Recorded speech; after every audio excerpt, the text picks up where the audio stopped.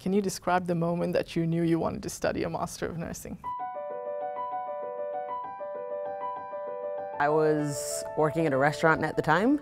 I had finished my bachelor's as an undergraduate and I was like, I need, I need to get out of this town and this state and I want to travel and go international and one of my friends had just finished his study abroad at the University of Sydney. He was like, oh my God, it's amazing, the culture, the people, the faculties. I was in this tiny room working with the machine for like two hours straight, not talking to anyone. And I just realized that I don't want to do this forever. Before you started the Master of Nursing, what were you most excited about? In science, like I, I was like very involved in learning the theory behind things, like how they were applied in a lab, but like thinking about like meeting real people, real patients, like real diseases, that really excited me. What surprised you the most about your degree? I was not expecting this much workload.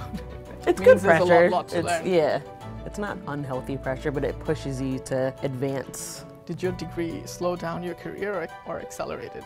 Accelerated it, without a doubt. I wouldn't, looking back, it's had I not done the master's, I wouldn't be at the level I am now in nursing and in career-wise. This is just two years, so it's really short. And then I can graduate, go to another specialty and just keep progressing. And it really fast-tracked everything that I was planning to do. How happy and satisfied are you with your career?